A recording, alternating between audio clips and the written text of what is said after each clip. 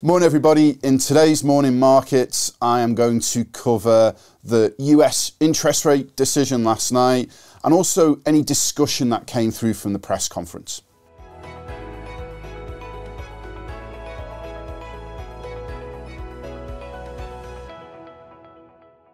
Okay, so what was the background ahead of the meeting? So, as we came into the year, you might remember that there were six 0.25% interest rate cuts that were priced into the US market. Now, what have we seen since then? Well, you've seen inflation prove stickier than many expected, and you've seen very tight labour markets overall. So now there's only one 0.25% interest rate cut priced in the US. So investors were very focused around what is the direction of interest rates for this year into next year? What's the Fed's reaction function to stickier inflation and the fact that it's taking longer to come down to that 2% target for inflation that the Fed committee has? So, what happened uh, last night, as widely expected?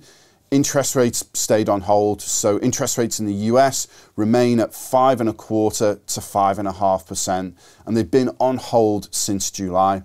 But probably what's a bit more interesting for myself and, and the investment team is to really dig into the wording around the press conference. So, what did Jerome Powell say?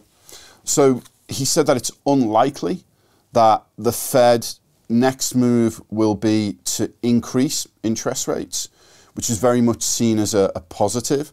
However, he did stop short of signalling interest rate cuts and he didn't say that interest rates were at their peak, which is something that he has said before. If we look at what's happening within bond markets, he's, the Fed have guided that it's going to reduce the volume of treasuries that they are selling down each month, so what we call quantitative tightening. So that's going to be reduced from $60 billion to $25 billion and the Fed acknowledged inflationary pressures, leading to that lack of further progress towards the, the 2% inflation target overall. So, finally, for me, what happened in asset markets? How did they react?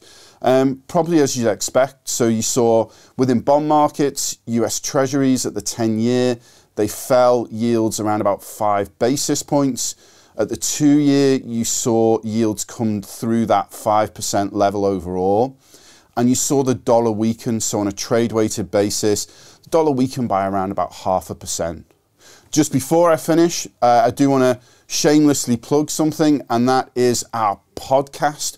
So, it's going to be our monthly review, uh, which will have Dan Harrison, our CEO, and then different people from different streams within the business telling you everything that's happened over the month. Thanks a lot. Speak to you soon.